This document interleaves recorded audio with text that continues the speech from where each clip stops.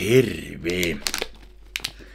Hampaaton läski on maistamassa täällä Gransin Pitstop no yksi e, saltyveilsejä. Eli salaminakki särmälle ja pitäisivät olla.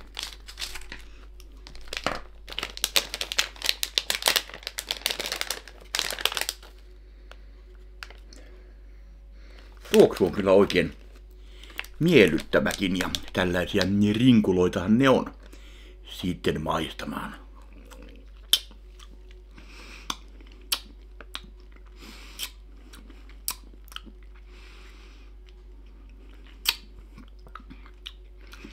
Kyllä nämä aika suolisia on. Nyt tota tulee tota salaminakin makuakin.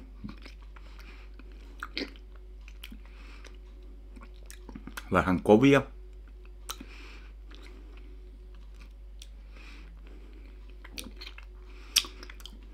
Mutta ihan miellyttävää salaminakin maku.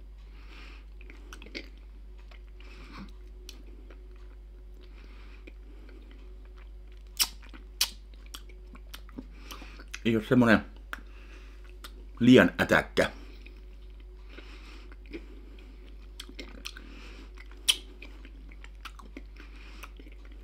Joo. Kyllä näitä ihan mielellään imeskelee.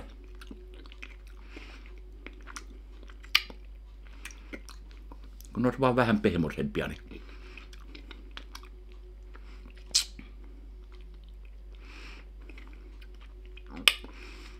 Mm, on ainakin riittoisa pussikoni yhdessä tärrämällissä, niin menee lutkutellessa pitkään.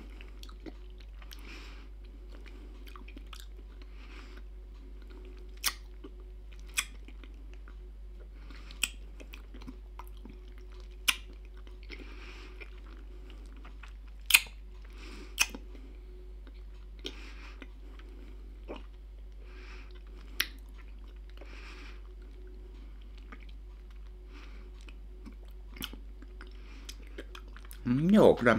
Mitähän näitä voisi antaa arvosanaksi?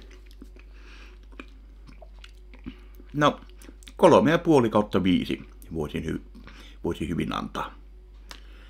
Mutta jotta ruoka ei olisi liian terveellistä, niin otetaan vähän vuohen maitoa.